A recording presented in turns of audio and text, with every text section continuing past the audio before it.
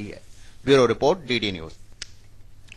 Supreme court ने कल गुणवत्तापूर्ण शिक्षा के बारे में चिंता जताते हुए कहा है कि विभिन्न राज्य सरकारों द्वारा अस्थायी आधार पर प्राथमिक शिक्षकों की नियुक्ति के लिए अपनाई जा रही नीति में उनकी समुचित शैक्षिक योग्यता के पैमाने का ध्यान नहीं रखा जा रहा है, जिससे देश का भविष्य और पूरी शिक्षण व्यवस्था